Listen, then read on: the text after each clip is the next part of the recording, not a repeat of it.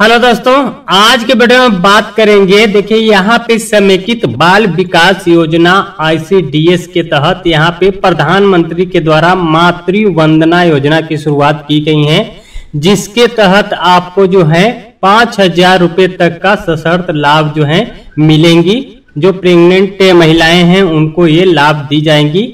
Total पाँच हज़ार रुपए की यहाँ पे सहायता राशि जो है प्रधानमंत्री के द्वारा मातृवंदना योजना के तहत दी जाएँगी। इसी के बारे में डिटेल चर्चा करेंगे इस वीडियो में कि जो है प्रधानमंत्री मातृवंदना योजना का जो लाभ है पाँच हज़ार रुपए की, वो आप कैसे ले पाएँगे? उसके लिए आपको क्या डॉक्यूमेंट चाहिए, क्या एलिजिबिलिटी चाहिए, पूरी डिटेल्स जो है इस वीडियो में कवर करेंगे।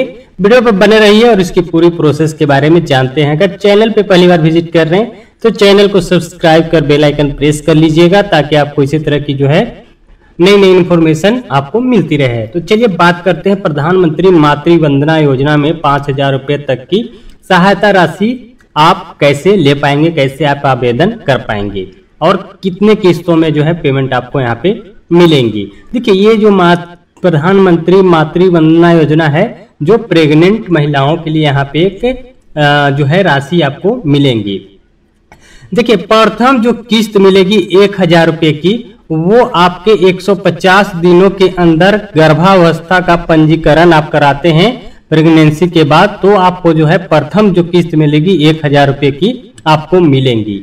एलएमपी अंतिम मासिक चक्र के 150 दिनों के अंदर गर्भावस्था का पंजीकरण के बाद जो है आपको एक हज़ार रुपए की प्रथम किस्त जो है महिलाओं को मिलेंगी। दूसरी जो किस्त है वो दो हज़ार रुपए की मिलेंगी। गर्भावस्था के छह माह पूरा होने पर, अगर आपका गर्भावस्था है और छह माह पूरे हो गए हैं, होने पर कम से कम एक बार ए एन सी करवाने के बाद जो है, दूसरी जो आपको किस्त मिलेगी वो दो हज़ार रुपए की मिलेगी। ठीक है, दूसरी जो किस्त मिलेगी गर्भावस्था के छह माह पूरा होने पर कम से कम एक बार ए एन सी जब कराते हैं, उसके बाद जो है, दूसरी राशि आपको दो हज़ार रुपए की मिलती है। तीसरी जो राशि आपको मिलेंगी, वो दो हज़ार रुपए की मिलेगी।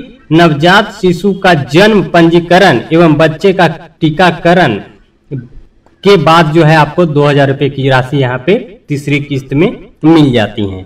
तो टोटल यहाँ पे थ्री किस्त मिलती है, जिसमें प्रथम किस्त में एक हज़ार रुपए द्वितीय किस्त में दो हज़ार और तृतीय किस्त में बच्चे के जन्म के बाद आपको दो हज़ार रुपए की सहायता राशि यहाँ पे मिलती है।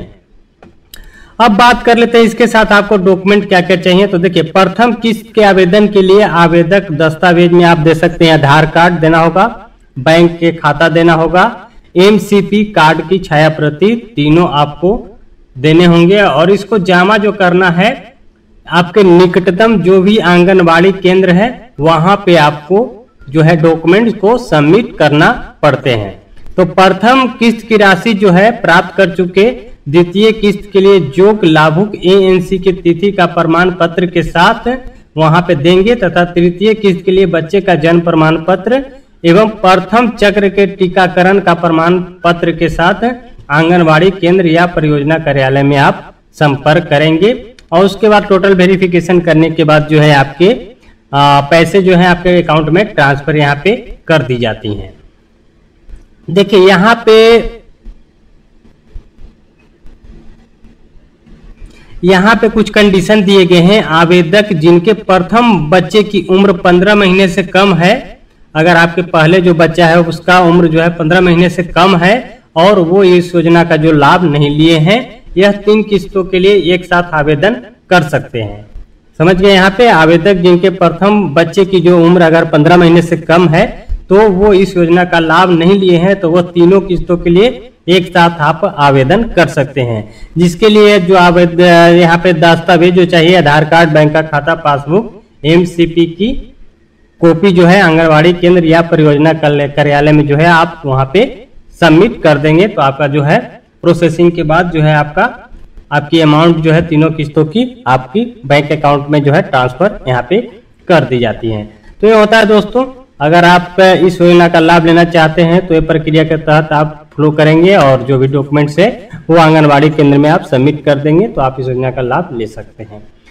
तो ये था दोस्तों आज का new notification I hope video आपके लिए हेल्पफुल रहा होगा। अगर वीडियो अच्छा लगा हो तो लाइक करना ना भूलिए। चैनल पे पहली बार है चैनल को सब्सक्राइब कर बेल आइकन ज़रूर प्रेस कर लीजिए, ताकि आपको इसी तरह की इन्फॉर्मेटिव वीडियो हमारे चैनल पे मिलती रहती है। तो मिलते हैं किसी नेक्स्ट वीडियो में। तब तक के लिए बाय जय हिंद।